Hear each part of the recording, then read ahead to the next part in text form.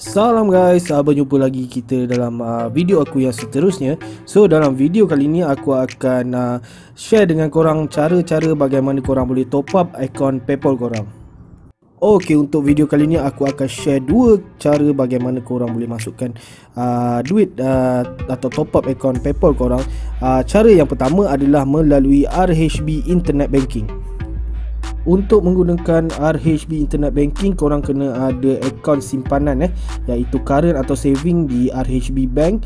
Uh, sekiranya korang ada korang boleh terus mendaftar di www.rhb.com.my Okey untuk transfer hanya nilai RM atau USD saja yang diterima di mana fees uh, untuk RM adalah RM1 manakala RM8 untuk USD. Uh, korang boleh transfer 24 jam sehari, 7 hari seminggu. Uh, selepas korang mendaftar sebagai ahli dalam RHB Now Internet Banking korang boleh dah uh, hantar duit ke dalam akaun PayPal korang melalui uh, funds transfer. Seterusnya korang pergi kepada send money via PayPal. Okey dalam proses ni korang kena pastikan alamat email tu adalah tepat eh. Seperti mana korang transfer ke akaun bank nombor akaun kena tepat uh, jika tak tepat pihak RHB tak bertanggungjawab atas kehilangan duit korang tu. Okey, cara yang kedua korang boleh top up akaun PayPal korang adalah melalui uh, request atau minta seseorang kawan, adik-beradik, uh, member untuk transfer ke dalam akaun uh, PayPal korang.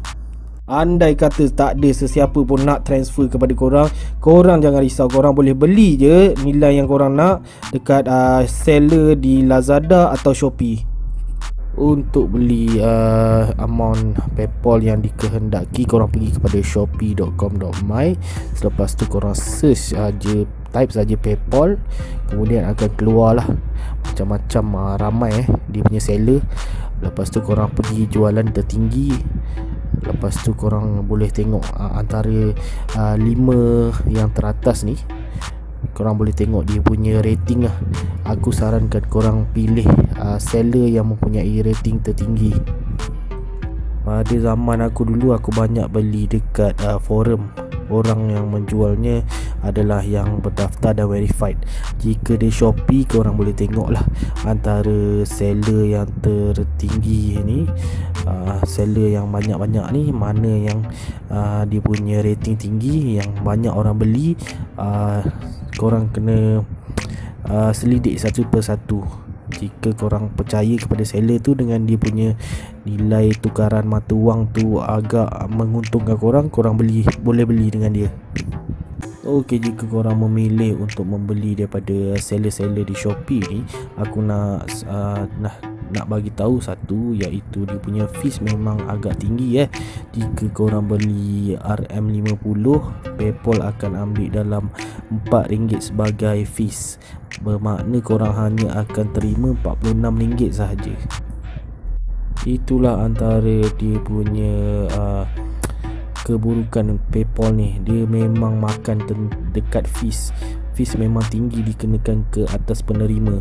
So memang tak boleh nak buat apalah. Dari dulu lagi dia punya peraturan memang macam tu fees akan dikenakan uh, kepada penerima Okey guys, aku rasa itu sajalah perkongsian aku untuk video kali ini uh, tentang bagaimana korang boleh top up akaun PayPal korang. Jika ada sebarang pertanyaan korang boleh ajukan di ruangan komen dan, dan jangan lupa uh, kalau korang rasakan video ini bermanfaat sila share, like dan subscribe guys. Okey, bye.